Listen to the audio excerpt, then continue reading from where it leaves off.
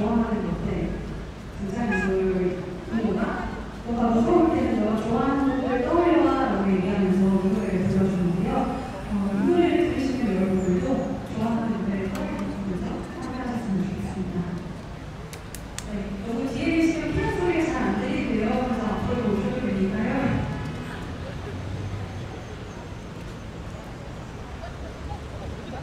그런 힘든 날에 여러분들에게 좋아하는 것을 떠올리시